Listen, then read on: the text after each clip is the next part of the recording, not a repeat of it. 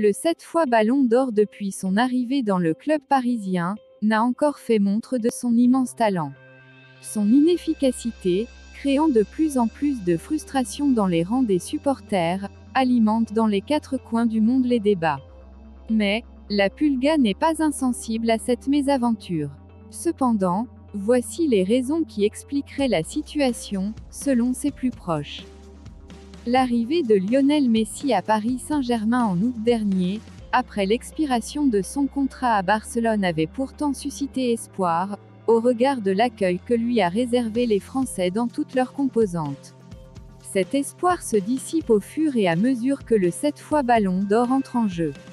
Après plus de 13 matchs disputés, Léo n'a inscrit qu'un seul but et déroulé que deux passes décisives. Autant la situation embarrasse les supporters, autant l'attaquant argentin s'en veut. Parfois j'aimerais passer inaperçu, a-t-il confessé. Est-ce parce que le niveau de la Ligue 1 française est-il trop élevé par rapport à la Liga? Pourquoi Lionel Messi pourtant habitué au challenge n'arrive jusqu'à présent pas à retrousser ses manches? Ce sont autant de questions que se posent les amateurs et fans de Lionel Messi. Les raisons de l'inefficacité de Lionel Messi. Les explications se trouvent ailleurs selon Luis Suarez, l'un des intimes de la Pulga après des échanges, il ressort que le climat français l'importune énormément. Nous parlons tous les jours, nous essayons toujours d'éviter les attentes parce que nous sommes des joueurs et nous savons comment nous devons agir dans ces moments-là, nous parlons des matchs, de la famille. Parenthèse ouvrante, parenthèse fermante. Il m'a dit que lorsqu'il joue dans le froid, il souffre beaucoup et avec la neige. Parenthèse ouvrante, parenthèse fermante. Il faut s'habituer à ce qu'est le froid là-bas, c'est sûr.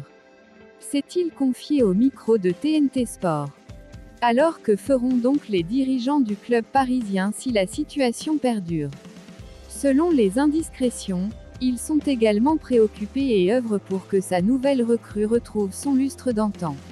Pendant ce temps, son rival Cristiano Ronaldo ne fait qu'enchaîner des buts.